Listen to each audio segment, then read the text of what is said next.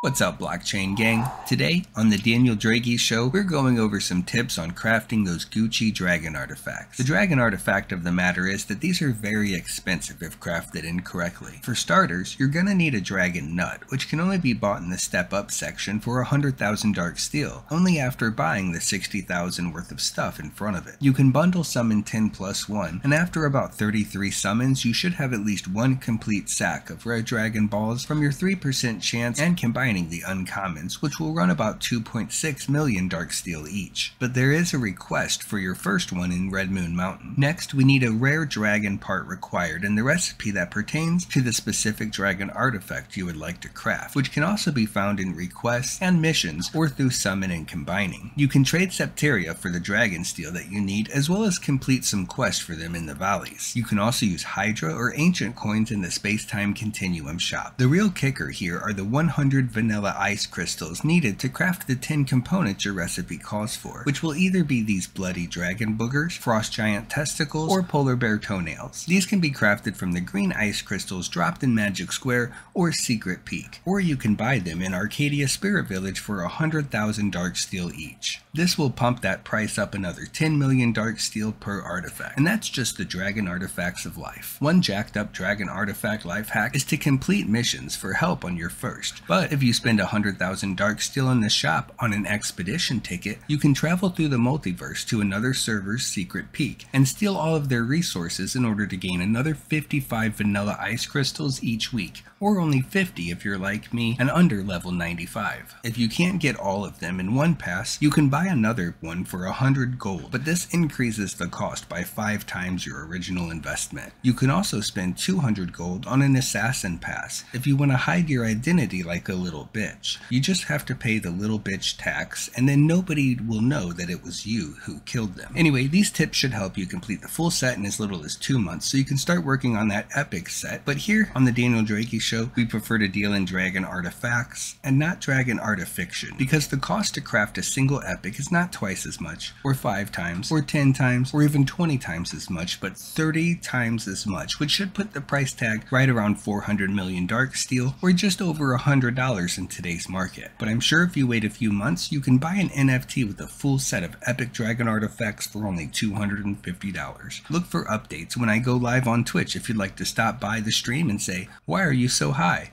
or just hi to show your support. Thank you as always. That is all I have for you today. Don't forget to like and subscribe so we can do this again sometime. Hey kid, don't ever let them get inside your head. They'll tell you what to do in life instead Of everything you know that you could get. Don't let them guide your life towards regret. I'll fight for what I love with every breath. My past is filled with things I won't forget. I use them all to push me to my best. So treat the worst of times just like a test only I could go back in time. I'd tell myself that everything will end up alright. Just push yourself, test yourself, figure out what you like And find your limits, don't be rigid, always work towards a prime. Surround yourself with open minds, people can change your life. A few friends with intent can help you feel alive. Find a passion, take some action, and with a little time Just be patient, make a statement, try to enjoy your life. They'll try to kick you while you're down they wanna rise up while you drown. They wanna fill your head with doubt. They're silently scared that you'll figure it out. I'll make it look like I'm losing. Won't bother hiding my bruises. And when they finally think you're wounded Then it's your chance to be ruthless